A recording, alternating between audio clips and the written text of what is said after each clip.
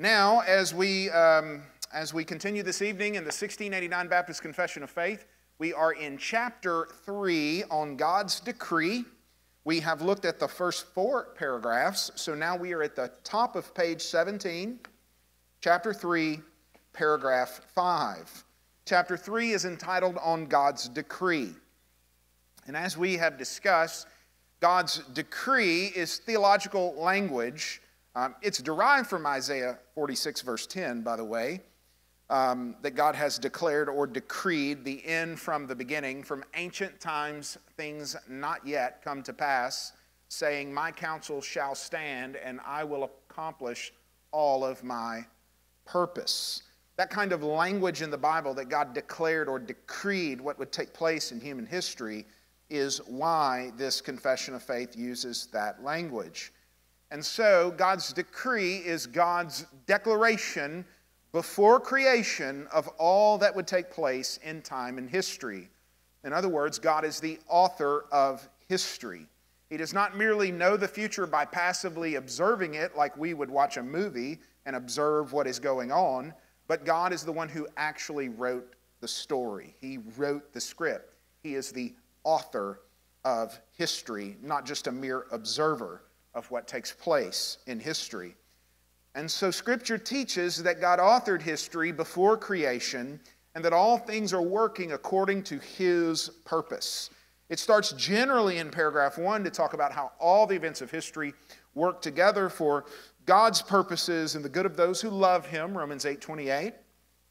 And then it moves on in the following paragraphs to talk about how God's specific purposes are toward saving a people in his son Jesus Christ, that is, the church, whom Scripture calls the elect. That language, elect, is a word that simply means those who are chosen, that is, chosen by God. Um, and the word predestined is also used to speak of their eternal destiny. They were predestined to inherit eternal life, to, to go to heaven. And so this word proorizo, uh, predestined, this Greek verb that's translated predestined, it is a word, proorizo, that means to decide the outcome beforehand. So God decided before creation how the events of history would play out, and He ultimately, the Bible says, predestined two things the crucifixion of the Son of God. We see that in Acts chapter 4 that there were gathered in Jerusalem uh, Herod, Pontius Pilate, and the Jews and the Roman soldiers to do whatever God's hand and God's plan had predestined to take place, which was the crucifixion of Jesus on the cross to pay for our sins. And then also, the Bible uses this word predestined, or proorizo in Greek, to speak of how God has, in love, predestined us for adoption as sons, Ephesians 1 5, and some of the other passages uh, that we've been looking at, we see this language is used to speak of God purposing and planning and deciding to save a people through the sacrifice of Christ before He ever created us. He created us knowing that we would sin and already having the plan to save us before He created the heavens and the earth. And of course, this is a difficult doctrine and uh, this is something that many of us have struggled with, are struggling with, and many Christians throughout history have.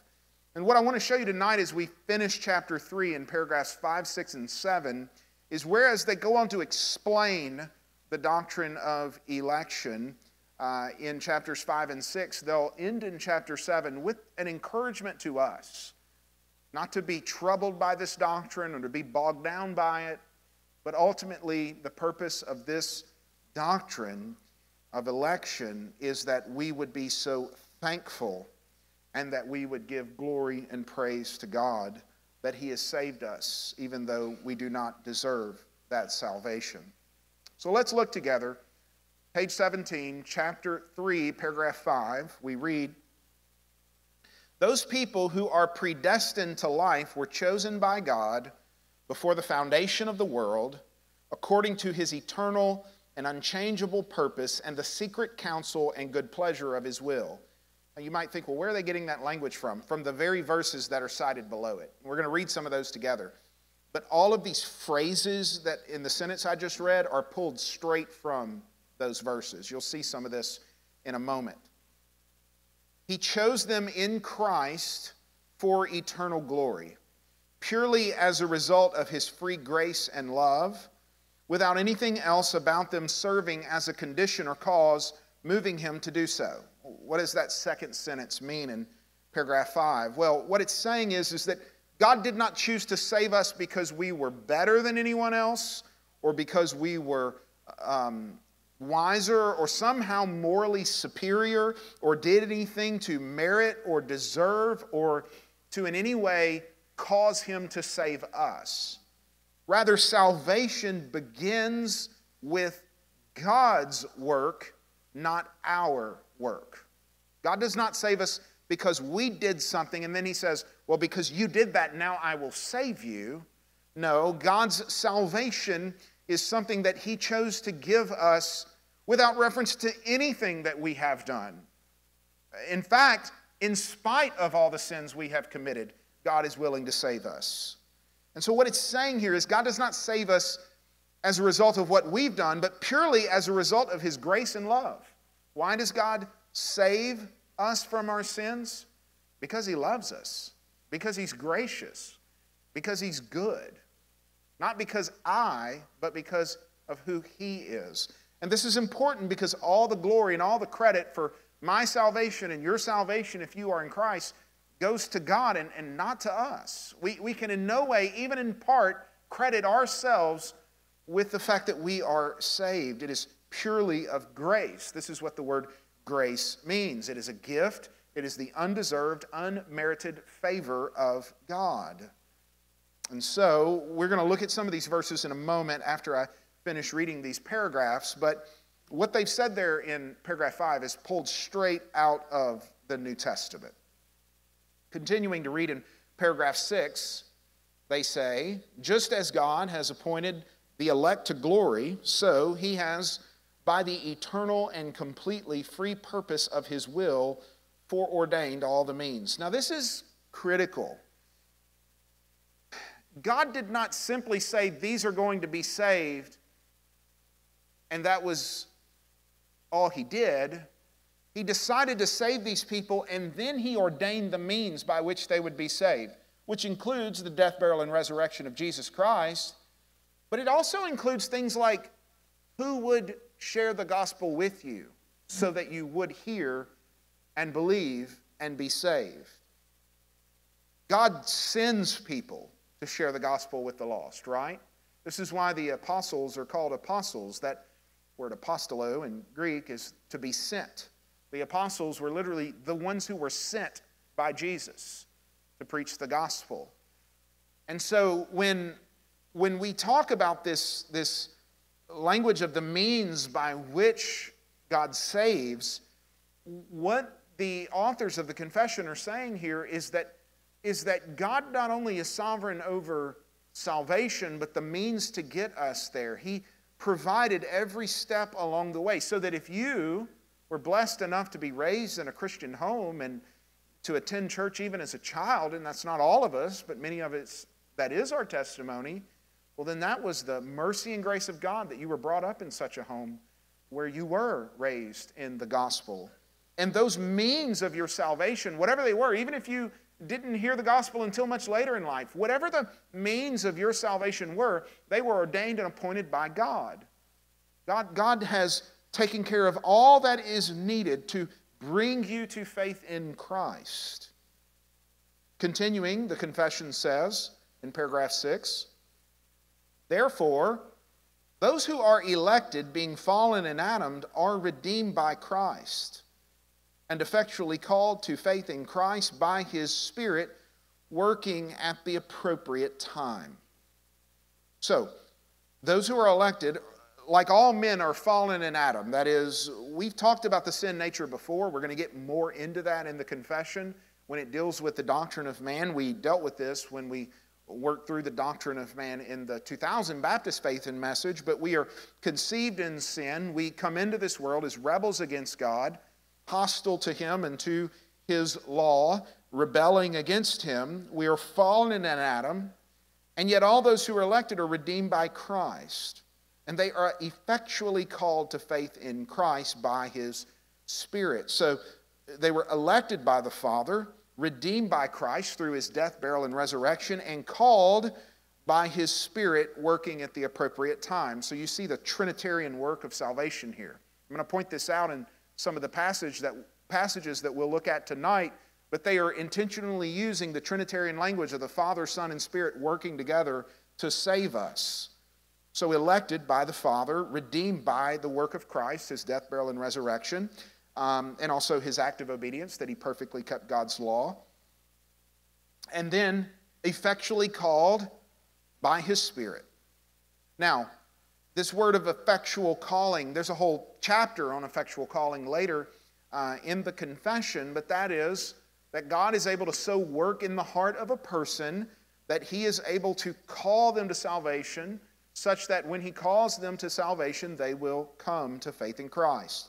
This is not God forcing people into the kingdom, but once again, this is the language of being dead and now being alive in Christ, of being born again, of being blind, but now I can see. This is the language of being lost and in darkness, and then found by God, and now children of the light. So, this kind of language is used in Scripture to speak of how, when the Holy Spirit calls a person to salvation, he is able to so work in our hearts to bring us to faith in Christ. This is a doctrine we'll look at more uh, in the weeks and months ahead, but they mention it here. Now he uses language here from Romans 8 29 and 30. They are justified, adopted, sanctified, and kept by his power through faith to salvation. Now, I dealt with Romans 8 28 to 30 when we covered this in the Baptist Faith and Message 2000. But Romans 8 28 says, um, all things work together for the good of those who love God, who are called according to his purpose.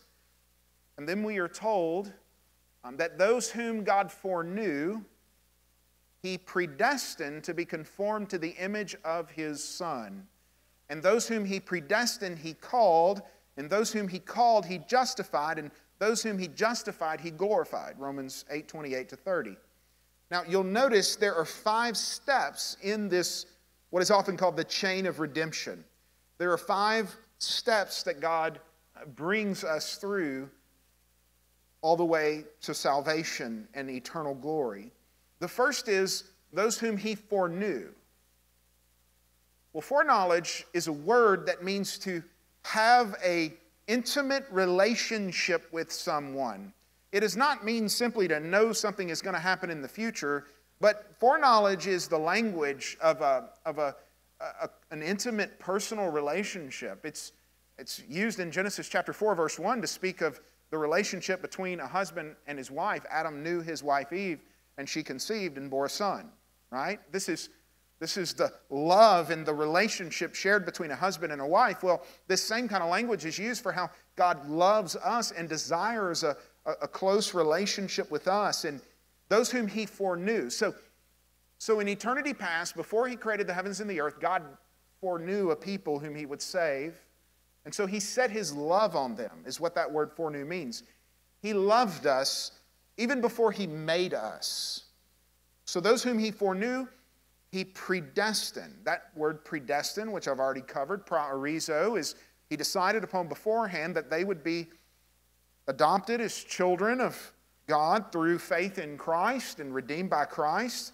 So those whom he set his love on, he foreknew, these also he predestined to be conformed to the image of his Son. So they are predestined to be saved and conformed to the image of Christ.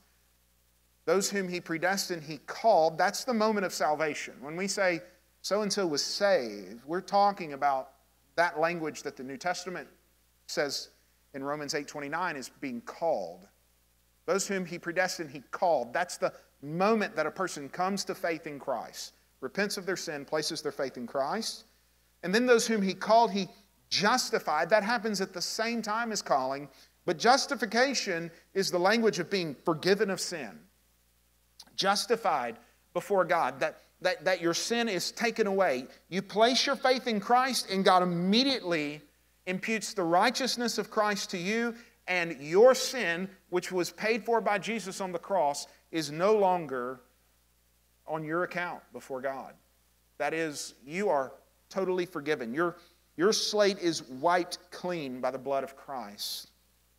And then lastly, those whom he justified, he glorified. Now, glorified is in the Bible the language of when we actually get to heaven and receive a glorified body and we never get sick again or, or grow old anymore. We have not received that glorification yet. And still, the Bible speaks of the glorification of those who were foreknown, predestined, called, and justified, which that applies to us. The Bible says that these also, including us, He glorified. It, he speaks of our glorification, our eternal inheritance in heaven, in the past tense to say, even if you've not received eternal life in heaven yet, even if you've not entered into the kingdom of heaven yet, it's already as good as done. So he uses the past tense. This chain of redemption from foreknowledge, predestination, calling, justification, glorification is this concept that's being referenced here that God works salvation from eternity past through the end of eternity future. There is no end to eternity future. From eternity past through eternity future, He works the salvation of these people. And so He says in the last sentence in paragraph 6 None but the elect are redeemed by Christ or effectually called, justified, adopted, sanctified, and saved. Now, we might read that sentence and go, well, that's not fair, but here's the point of that sentence there is no other way to be saved. You're not getting to heaven by some other means than through the salvation provided by God the Father through His Son and being kept by the power of the Holy Spirit. You will not get to heaven any other way than through this plan of redemption, this plan of salvation which God had from the foundation of the world. Lastly, I'll read paragraph 7 before we get into the scriptures.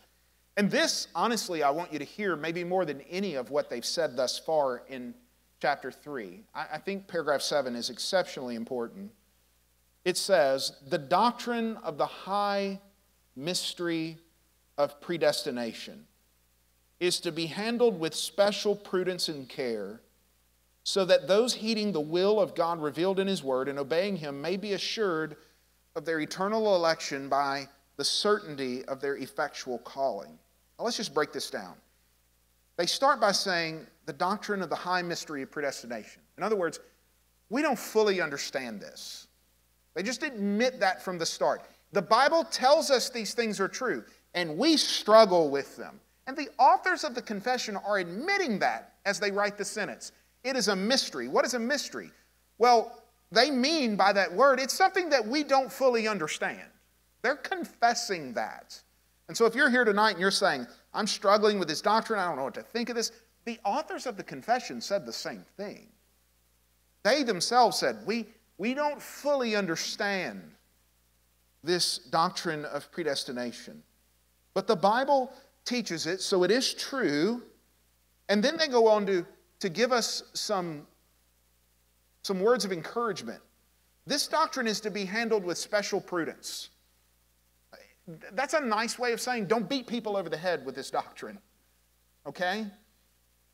There has been a lot of fighting among Christians, but in the last decade or two, especially among Baptists, over these doctrines. And this is exactly what they're warning us not to do here. Handle this doctrine with special prudence and care. What does that mean? Don't force it down people's throats. Don't, uh, don't be arrogant or boastful about it. If you come to this doctrine and you are puffed up with pride, you don't understand what it's really about. Because this truth should humble you, not make you prideful. It should make you realize that the only reason I am saved is because God was merciful to me. I didn't do anything to get myself to heaven. And so, what they're doing here is they're saying, first off, it's okay if you don't fully understand. Second off, don't beat people over the head with this. And if someone is struggling with this doctrine, be gracious. And I hope that's how I've come across in teaching chapter 3 to you. Listen, these things are true. The Bible teaches them. But that doesn't mean that they aren't difficult truths to wrap our minds and our hearts around. I recognize that. And that is how they wrote paragraph seven. They, they are addressing the kind of tension that we have in reading the previous six paragraphs. They know that, that those who read this will say, Yeah, it might be in the Bible, but I don't know what to do with this. Yeah, okay, it's biblical, but what, how do I even understand this? This is, this is hard to, to just to wrap my mind and my heart around. And they, they say yes. So it must be handled with special prudence and care. So that, it, it, here's what you should take away from this doctrine so that those heeding the will of God revealed in His Word, okay, so this is what God has shown us in the Bible, so we know it's true, and obeying Him so that we may be assured of our eternal election by the certainty of their effectual calling. Why is this doctrine beautiful? Why is it comforting? Because God's sovereignty and salvation teaches you that you didn't get yourself into the kingdom by your works, and you will not be kept in the kingdom by your works. Your salvation is of grace. It is not of yourselves, it is the gift of God. It is not of works so that no one may boast. I'm not afraid that I will lose my salvation because I know I'm held by the powerful hand of God. And if God was able to bring me into the kingdom without my help, He's also able to keep me in the kingdom without my help. And so this is a comforting doctrine because I am trusting in His preserving grace, not in my ability to perform, right? Because if I could lose my salvation, I would. But I don't have to worry about losing my salvation because my salvation is preserved and protected by God the Father, God the Son, and God the Holy Spirit, working together in perfect unison to redeem my soul and to keep me in the body of Christ and obedient to Him. So, this doctrine, the purpose of it, is to assure us of our eternal election. Like Peter says, make your calling and election sure. This is biblical language that you need to know that you are one of those whom God has chosen to save. You need to know that you are within the church, that you are among the elect. And I'm not talking about church membership, I'm talking about real salvation. You need to know that you really are in Christ. And then you need to be able to be certain of that by effectual calling. That is, how do you know you're among the elect, those whom God has chosen to save? Because you have faith in Christ and you're walking with Christ, and you would only have faith in Christ. Excuse me. You would only have faith in Christ and walk with Christ if the Holy Spirit of God had changed your heart. You would not be a new person if God had not made you a new person. So, the very fact that if anyone is in Christ, he is a new creation, the old is gone, the new has come, that New Testament language is the way you know you're in Christ is because the old is gone and the new has come. So, how do I know if I'm among the elect? Are you believing in Christ? Are you walking with Christ? Are you a new person in Christ? Has your life been changed by His grace? If the answer to those questions are yes, then, well, there it is. You're saved because of the work of the Spirit of God that is evident in your life and how He has changed you. Lastly, it says in paragraph 7 in this way, this doctrine gives reasons for praise, reverence, and admiration of God, as well as humility, diligence, and rich comfort to all who sincerely obey the gospel. I think this is a wise way of putting it. This doctrine should not cause us to get angry and argue. and it's done that for a lot of people. No, th- this doctrine of God's sovereignty and salvation, it should cause us to praise God. We should reverence Him. We should stand in awe that He has been willing to save even sinners like us. And we should admire what He has done. So that's how we should respond to God not by getting angry or rejecting what he has said about how he has saved us, but we should just praise him and be reverent and admire what he has done And then, secondly, what should our personal attitude be? We should be humble. We should be diligent to follow Christ. And then we should take rich comfort in what he has done for us. Why are they wording it this way? Because people back then thought about these doctrines like they do today. It's nothing new. And what they are encouraging us to do here in paragraph 7 is not to get upset or angry over these doctrines. They're clearly taught in the Bible, but rather to submit to what the Word of God says and be thankful for how God has saved you. And, and even if we can't fully understand it, indeed it is a high mystery, they say, nonetheless it is true because it is in the Word of God, it is biblical.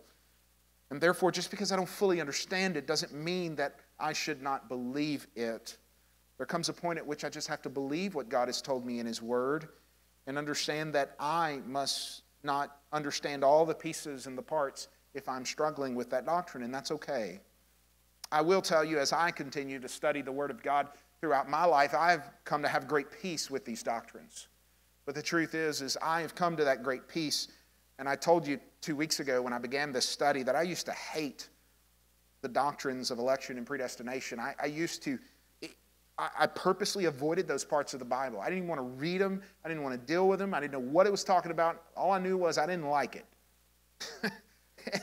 and it was God who humbled me in my early 20s as I studied His Word and I wrote a paper on Ephesians chapter 1 in particular. And since those years, over the past 15 years or so of continuing to study God's Word and accepting and believing these doctrines, I began to realize this is actually beautiful. This is not something to push against, but something really to embrace. But to be quite honest with you, I, I think it takes being deeply rooted and grounded in Scripture. So here's what I want to do tonight I, I'm going to show you three passages which I believe will show you the beauty of these doctrines in very plain language. And I hope it will encourage you to maybe tonight just, just say, you know, these are beautiful truths in God's Word. And I, and I really should receive and accept what the Word of God says about how God has saved me. So let's look tonight in 2 Timothy chapter 1. This is a passage which you no doubt are familiar with. 2 Timothy chapter 1. And the reason is verse 12. There's a hymn based on this. I know whom I have believed and am persuaded that he is able to, can you finish it? Keep that which I've committed unto him against that day. All right, that's, see, you memorized the Bible verse singing that hymn and didn't even know it. That's 2 Peter 1, verse 12. We're going to start in verse 8 and go through verse 14. But you're familiar with these passages, whether you realize it or not. 2 Peter 1, beginning in verse 8. Paul writes to Timothy, Therefore, do not be ashamed of the testimony about our Lord, nor of me, his prisoner, but share in suffering for the gospel by the power of God, who saved us and called us to a holy calling, not because of our works, but because of his own purpose and grace which he gave us in Christ Jesus before the ages began. Well, let me just pause there. Verse 9 is the key. He starts by telling Timothy in verse 8 look, don't be ashamed. You're going to have to suffer for the gospel, but here's why. You should be willing to suffer for the gospel, and you shouldn't be ashamed of being a Christian, even if you get arrested and beaten and killed for it, which is what happened to the Apostle Paul. He says in verse 9, here's why, why you shouldn't be ashamed, Timothy. Because God is the one who saved us and called us to a holy calling. And he did this not because of our works, but because of his own purpose and grace. And so far we might say, well, okay, these are beautiful words, and we knew this was true. But then look at the last phrase in verse 9. This grace of salvation that he has given us he says of this grace, it is the grace which he gave us in Christ Jesus before the ages began. The Greek literally says here, before time eternal. That is before time. Before God created time, He gave us the grace of salvation in Christ. How is that even possible? Before He created the heavens and the earth, long before He created you and I, He gave us the grace of salvation through Jesus Christ. How is that possible? Well, it's like Paul says in Romans 8:29. Those whom he foreknew, he predestined. Those whom he predestined, he called. Those whom he called, he justified. Those whom he justified, he glorified. He set his love on us before the ages began, before time eternal. Going on in verse 10, he says, And which now this grace has been manifested through the appearing of our Savior Jesus Christ. He's talking about his first advent here, when he came in the womb of the Virgin Mary and lived a sinless life and was crucified and buried and rose again. That was the first appearing of Christ. And that grace of salvation, which he gave us before he created time, that grace has now been manifested through the first coming of Christ who abolished death and life and brought life and immortality to light through the gospel, for which I was appointed a preacher, an apostle, and a teacher, which is why I suffer as I do, but I am not ashamed, for I know whom I have believed. And I'm convinced that he is able to guard until that day what he has entrusted to me. Beautiful words. Paul is a man who's, who's imprisoned about to be executed for preaching the gospel. 2 Timothy was the last letter that we have that Paul wrote. And he was about to have his head cut off by the Emperor Nero because he wouldn't stop preaching about Jesus. And the only way to make Paul shut up about Jesus is to cut his head off. So that's what was about to happen to the man. And these are some of the last words that Paul wrote before they executed him. And he says, I am not ashamed of the gospel, even though they're about to kill me because I know whom I have believed in. That is Jesus. And I'm convinced that He is able to guard until that day what has been entrusted to me. Paul was absolutely convinced that once they executed him, which happened shortly after he wrote these words, that he would be in the presence of Christ.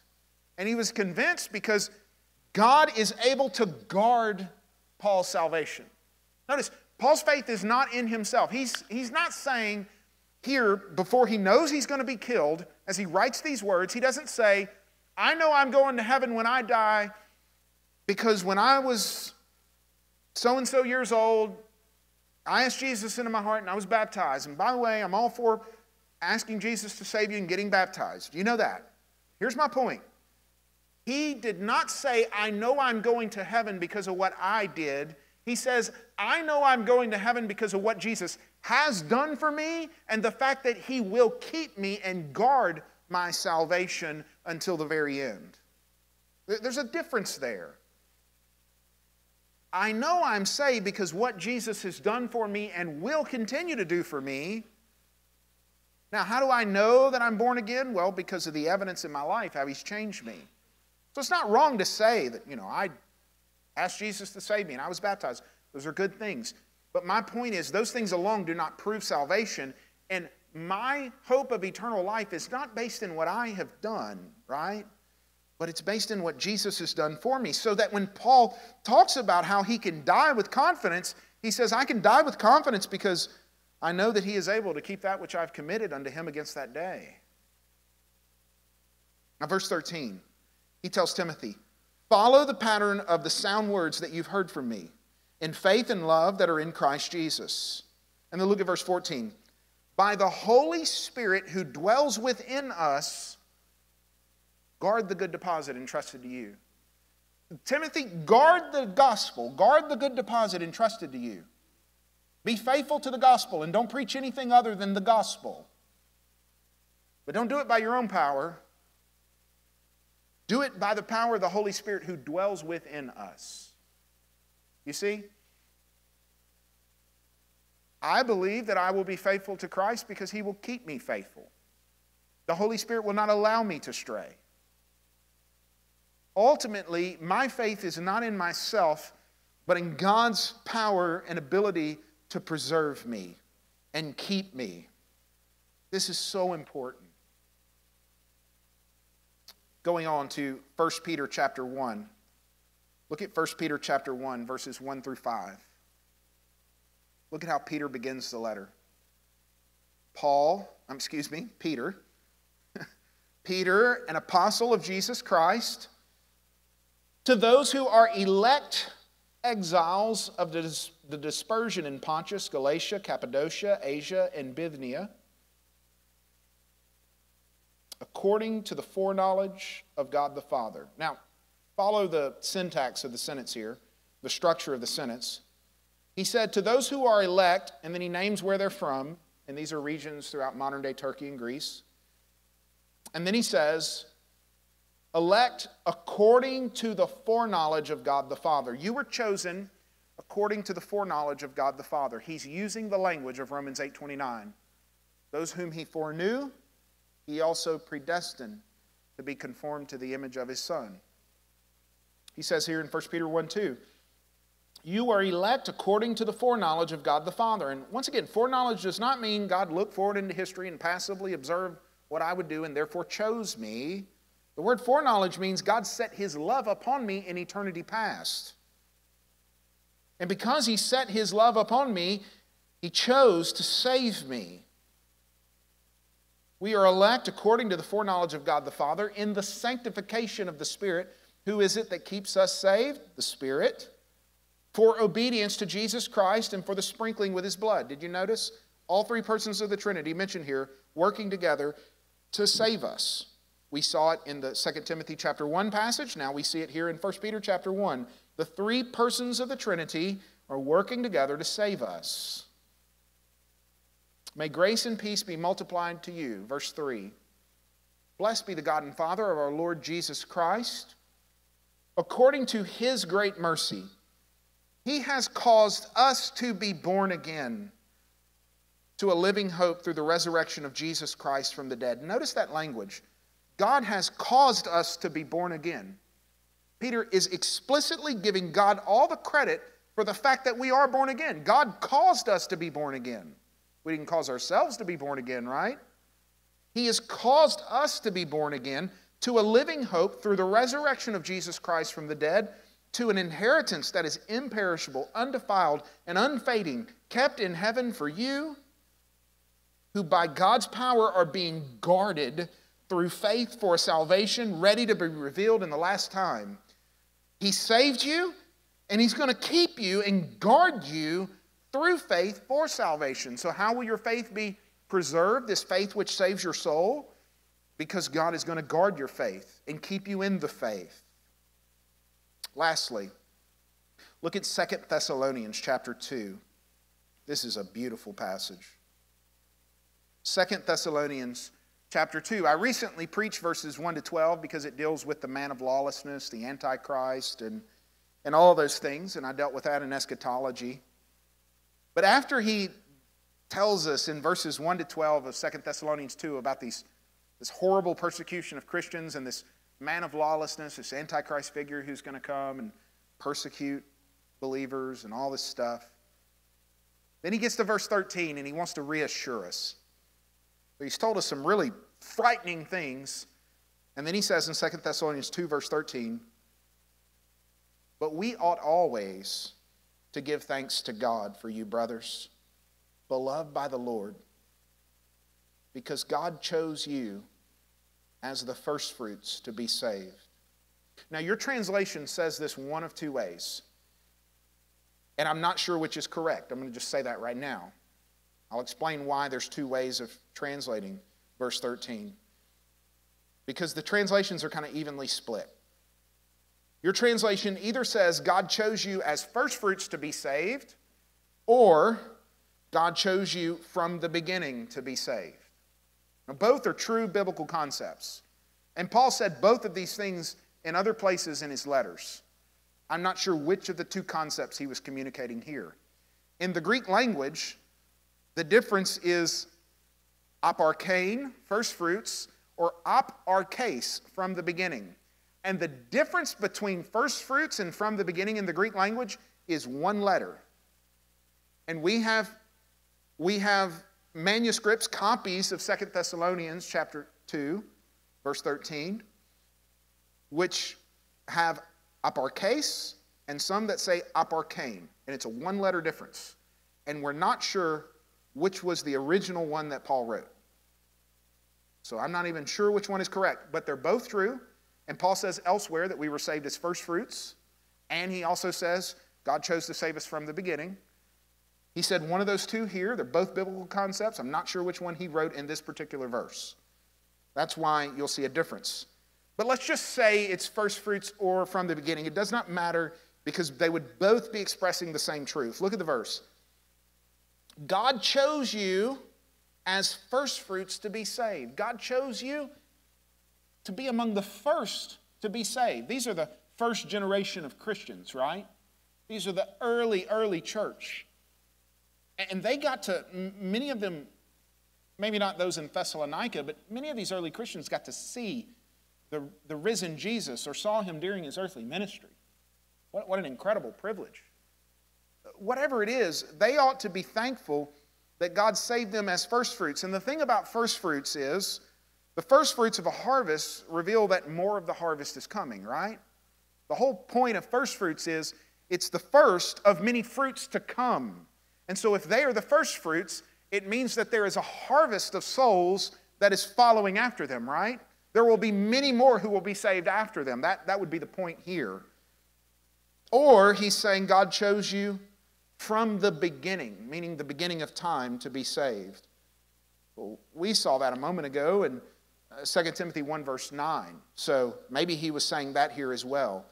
Regardless, he's saying God chose you to be saved, either to be first fruits who would produce more Christians, or he chose to save you from the beginning of time.